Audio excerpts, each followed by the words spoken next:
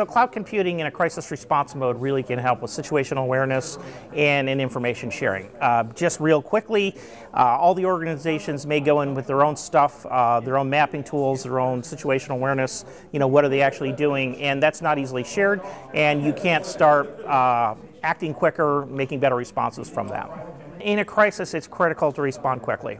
And if you're talking about surge capacity, if you're talking about setting up servers, changing things dynamically, uh, the cloud gives you that flexibility that, that you probably would not get in other ways.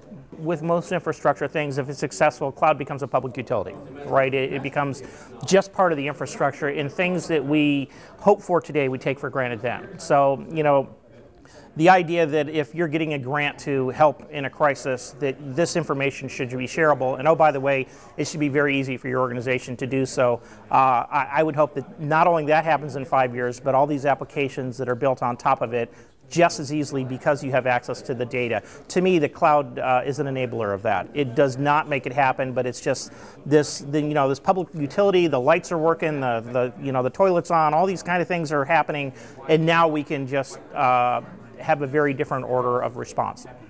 We have an oil response uh, app, oilreporter.org, that we just got put out in place.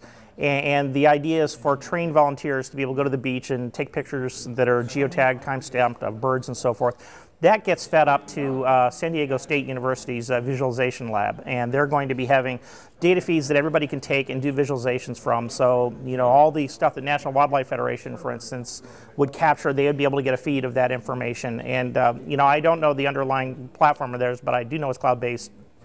And so the, the, the hope is if this gets to be significantly huge, that this is going to be able to, to rapidly adapt. Cloud is again one of these things that, that just gives you opportunities in ways you never thought possible. And, and, when you're getting, you know, these global networks of volunteers coming in and acting on data and doing interesting things with it, you have no idea where it's going to end up. And, and again, the, the, cloud computing I think gives you the flexibility that you don't have to think about it as much up front. Where if you had your traditional infrastructure, that's the first question you need to answer.